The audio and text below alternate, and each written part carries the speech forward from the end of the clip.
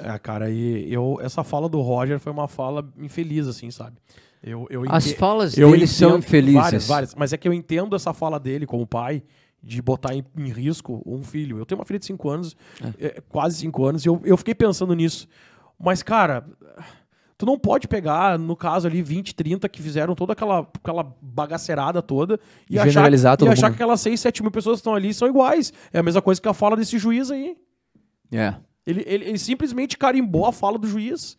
Ah, e, e outra coisa, eu fiz um tweet fazendo uma crítica a essa fala do, do Roger pelo seguinte, cara. Pô, a torcida, cara, tá apanhando.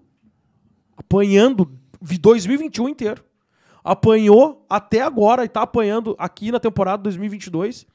A gente tá apoiando, meu, 12, 13, 15, 51 mil, 43 mil. Já botamos 30 e poucas mil pessoas na temporada pra apoiar o Grêmio na Série B, velho, pra voltar pra Série A. E o Roger fala isso. E detalhe. Dizendo que quando a torcida faz uma pressãozinha ali, o jogador não consegue É, jogar. Mas pra- pelo amor de Deus, Diz como é que não vai jogar? O Rodrigo cara? Ferreira. Ele diz que o Rodrigo Ferreira não joga porque fica vaiando ele.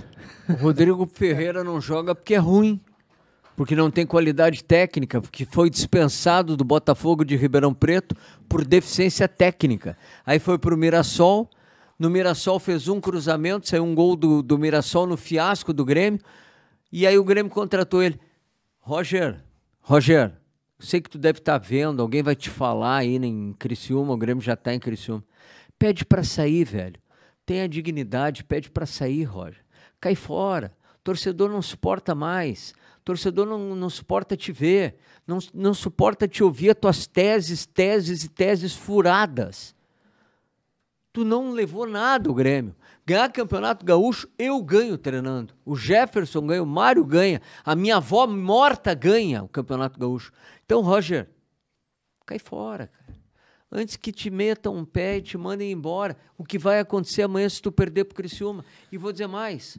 Por incrível que pareça, pareça hoje falei com vários gremistas, Mário. E vários me dizendo, se é para cair fora, que perca amanhã pro Criciúma. Mas não pode pensar assim, porque se perder pro Criciúma, o Grêmio, eu não sei se vai subir. Eu não sei se vai Bah, eu, subir. eu, eu jamais vou torcer pro Grêmio é, perder um jogo por qualquer, qualquer motivo que seja, ainda mais. É, Mas me disseram estamos- hoje. Não, eu não duvido que tenha pessoas que pensam assim.